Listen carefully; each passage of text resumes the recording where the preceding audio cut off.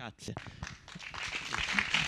Comunque si continua tutti a dare tutte queste informazioni perché io sono due notti che ci dormo. E mo ci arrivo, non ti preoccupare.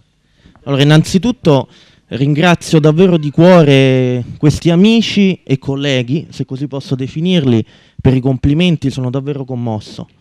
E quindi non voglio perdere troppo tempo, ma io ho preparato una breve presentazione da farvi vedere per farvi capire un po' il, il cuore del libro, il, il, ragionamento che poi mi ha portato a scriverlo. Il, è un libro ironico che viene confezionato apposta per appassionati e non di calcio, perché comunque può essere letto eh, tranquillamente anche da chi non, non, ha molta dimestichezza con questo sport. Eh, anche perché eh, mi sono detto, eh, tutti ricordano molto facilmente eh, i, i, grandi campioni, è facile ricordare Maradona e Pelé, Messi e Kakà, eh, Buffon e Cannavaro, è molto più difficile invece ricordare chi non è riuscito a sfondare eh, in qualsiasi campo. È giusto, però eh, come ho detto anche nel libro, eh, il calcio, così come può essere il mondo dello spettacolo, è popolato oltre dai grandi campioni anche da mh, mm, personaggi magari oscuri, ma che eh, rendono questo sport eh, tanto affascinante quanto irresistibile. Per questo, ecco, vi, vi comincio a presentare eh, il libro, la copertina, che eh, prende un po' eh, lo spunto, eh, è molto ironico e molto divertente perché è un giocatore di subbuteo che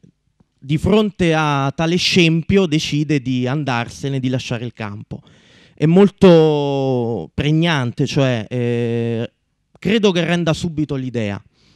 Uh, si tratta di 90 profili di giocatori che, eh, come abbiamo citato nella, nel riepilogo, ripercorrono le infauste gesta di calciatori o presunti tali, perché in alcuni casi si è trattato anche di gente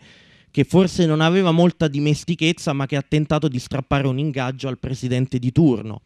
incompresi o sfortunati, perché comunque sono capitati dei grandi campioni come possono essere stati Bergkamp o Rush, che sono venuti in Italia eh, dietro grandi fanfare, ma alla fine mh, non hanno concluso granché per, per tante ragioni. Campioni sulla carta e disastri in campo dal 1980 l'anno della riapertura delle frontiere. La casa editrice La Piano B Edizioni che è di Prato, si tratta di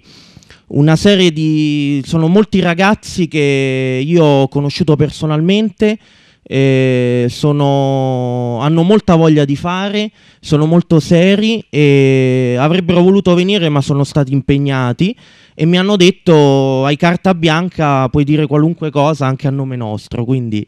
per quello eh, godo della loro più totale di fiducia come loro godono della mia. Sono riuscito a farmi fare la prefazione da Ivan Zazzaroni che eh, anche a lui avrei voluto invitarlo, anzi l'ho invitato, ma l'8 di questo mese è partito per il Sudafrica per seguire i mondiali e eh, io gli ho detto se mi lasciava qualcosa da dire, lui mi ha detto solo una frase, Pippe si nasce, Bidoni si diventa. Con questo io capisco che lui ha sposato in pieno il, um, l'atmosfera che può eh, dare questo libro.